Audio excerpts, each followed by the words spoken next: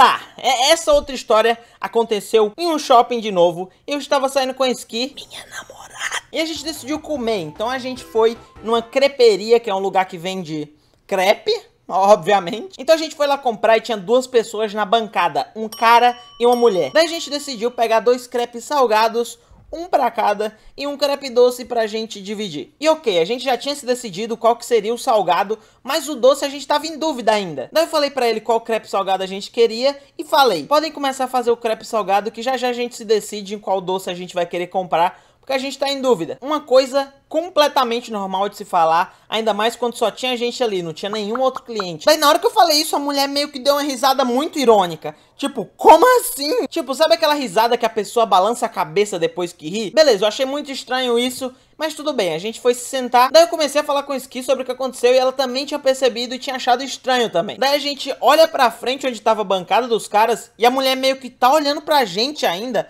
com o mesmo sorriso irônico. Daí do nada o cara que tava de costas vira e olha pra gente também meio que rindo. Como assim? Eu não sei, mano. Tinha algo escrito na minha cara? O que que era, velho? Eu sei que foi muito constrangedor, desconfortável e eu nunca mais voltei naquele canto porque, pelo amor de Deus, velho. Tá.